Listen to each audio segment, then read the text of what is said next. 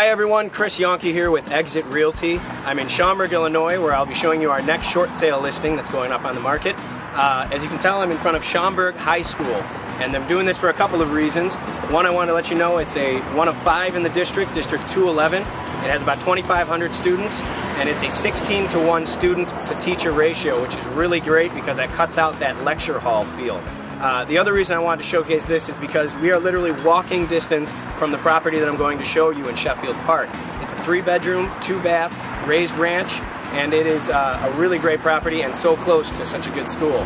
So uh, we're going to go ahead and check out that property. See you there.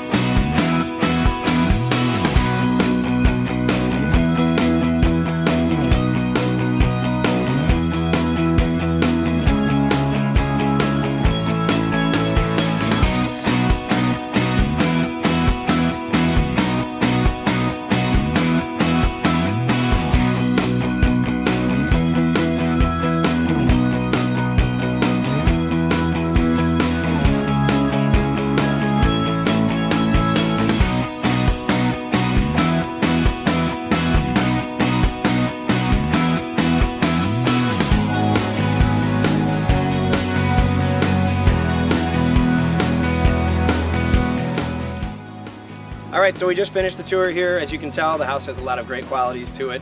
Uh, and with, with, it being a nice family-friendly neighborhood, uh, this place is just really great. For the price you're going to be able to get this at, it's a home run, guys. Um, make sure you check out my contact info below. If you have any questions on the property or if you'd like to call to set up a showing, please do so. Uh, until next time, we'll see you guys later. Thanks.